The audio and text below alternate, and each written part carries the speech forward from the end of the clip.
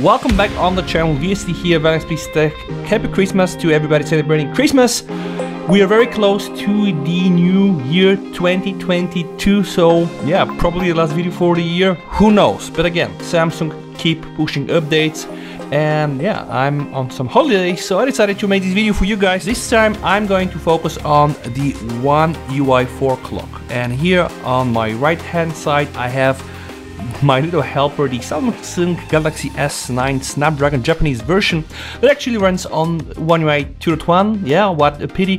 The Exynos version from S9 already got the One UI 3.0, but the Snapdragon guys out there, mm, yeah, bad luck. But guys, it is pretty much what also is used in terms of clock in One UI 3, so we're just gonna pretend this is One UI 3, very close. So here we have One UI 4, Android 12, the latest like the second real December update for me, actually there are three, but yeah, Samsung pulled one off, so for me that's the real second update. Let's focus on the clock. Now Samsung did a lot of updates guys, and I'm going to present to you all the new things you can find in the latest One UI clock for One UI 4. Alright, so when you start the application, you're gonna see the same design. We have here all the alarms are off, off, you have the alarms here, you have the alarm down below, the work clock, stopwatcher and timer. So they pretty much look alike, but the changes are there. And yeah, I'm going to now deep dive with you guys and show you. All right, so let's just first enter the first alarm, right? From here you can set up the alarm. It does work exactly the same way as in the previous version. Pretend it's One UI 3.0. You can give the alarm a name, right? And then guys, you have alarm sound, vibration, and snooze. All right, so let's just first explore the change in the alarm sound. And this was my cat, by the way. Gonna go into the alarm sound, okay?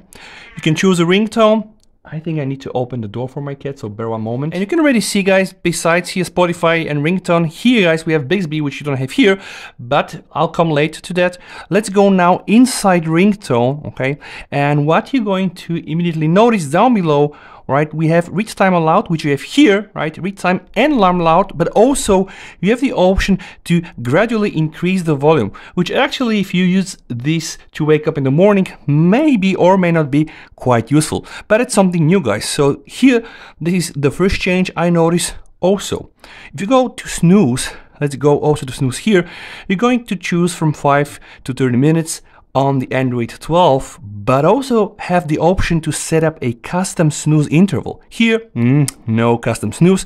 And by the way, you can go up to 60 minutes, so 60 minutes of snooze. Definitely a bit weird, but if you're into this, then yeah, you can just see 59 minutes of snooze three times, all right? So definitely something that you can do on the latest clock version and you cannot do here. Vibration patterns are the same, so let's not compare them. And now back on the main interface. And on the main interface, guys, there are some new changes changes. Now let's click here the hamburger menu, click the hamburger menu here, you see, here you just have delete alarm settings. Here you have the set bed time and wake up time, which is actually quite new. And in case you have been following what Samsung are doing, this is one of the new things here. Keep your sleep on track, get healthy sleep, but going to bed and waking up the same day. You can just set up your sleep schedule from here. The time you go to bed, 22, the time to wake up, like 7, okay, sleep time 9 hours, then go to next. Once you have adjusted your bedtime settings, guys, you can also use the bedtime mode on the phone. And by using this, then the phone will go to grayscale. It will mute your calls and alerts and also also all the other sounds during bedtime. So in general, my advice is if you are going to your bed, don't use your phone. But you know, I'm very bad at this. I, I, yeah, I use my phone, so probably not the best guy to give this advice. But yeah, in case you go to bed and you can use the bedtime mode and maybe you're gonna get some healthier behavior from your phone. And then you can set up the wake up alarm and you can also wake up with some smart devices. So there are really a lot of things you can do with this and you don't have this here. So this um, bedtime uh, and wake up time thing just don't exist here, right? But there are plenty of other things, okay? Now for the sake of the test, I'm gonna hit here the delete button guys so that we just even out things, right? So see, the second other thing is you can sort things out. So you can just sort this by alarm order, which is the case here, right? But you can also go and you can sort by custom order. And in the custom order, guys, you can just click here and yeah, I now can have this alarm to be the first one. Why not? Okay, see here, first alarm is this, and then the lowest alarm comes second. in case you're up to that. Alright, so this is also changed here. Else you can just select here all and you'll delete this here, right? You can do the same. So in terms of deletion of the alarm, it's pretty much the same, but you have more options in terms of sorting and also setting this bedtime and wake up time. All right, let's go one more time inside the alarm. And something guys that actually is quite funny here, we pretty much have the same options. You can just see the calendar here, etc. But here guys, you have something called turn off during public holidays, which I don't know, doesn't really exist in the One UI 4. I don't know why, right? But turn off during public holidays, probably the setting. Right now it's missing from here, else it's one to one. All right, guys, now let's go back to work clock. Also, the widgets are different and I'm gonna show this later. Now go to stopwatch, pretty much the same design. Here, I don't know why you have the lap button. When you immediately press start, the lap button is going to appear here. So yeah, it's pretty much strange that they put it there. I just think it's a design element, else no major differences. And now we can go to timer. It does pretty much work exactly the same way. If you go here, you're gonna be able to edit preset timers, which you can do from here. Okay, let's now explore the settings. Right, this is the clock settings, short wait information. Okay, um, yeah, you again here we have far better integration with Bixby and also with Bixby routines, which I'm gonna show you next.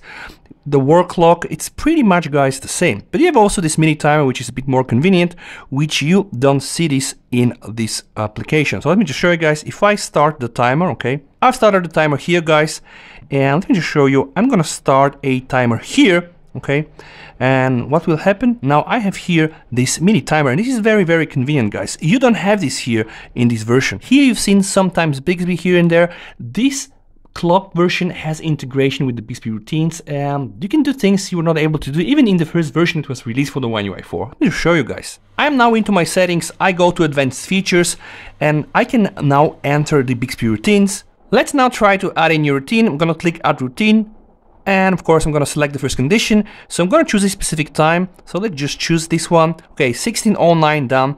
And if I reach this specific time, then I want something to happen. Of course, I have to click here, then I can go to apps and now guys, I can open an app, like I can open an app or I can close an app, but this here, like the clock integration is new. So not only can I open an app, but then it can turn on my alarms, turn off my alarms. It can even start a timer or start stopwatch. So let's say I can select Spotify so that Spotify opens every day A1609 and it turns on an alarm for like 10 minutes. I'm not sure, right, if this is really a nice use case, but you get the point. This integration here was missing even from the very first version of One UI 4 for the Android 12. I have now opened the widget sections on my S21 Ultra and also on the S9 and you can just see guys we have four widgets for the clock, same here right. First it's pretty much the same, the analog clock though is a bit different. Do you notice a change? Yeah let me just put it there and then maybe you see it. I'm gonna put the analog here and I'm gonna put the analog clock here guys and now let's just see what will happen, guys. Oops. Okay. It does show the same time, but yeah, here we have a third arrow, which is showing the seconds. Uh, this might be a bonus for some. And yeah, the dual clock looks a bit different, and we have also weather integration, so that's really it. Guys, this has been all the major differences between the latest clock from One UI 4 Android 12 and everything else, One UI 3 and etc. If you have liked the video, don't forget to really like the video, subscribe to the channel guys. If you want to ask something, please feel free to do this in the comments down below. Please also you and your families stay safe guys. Have a happy new year and VST over and bye.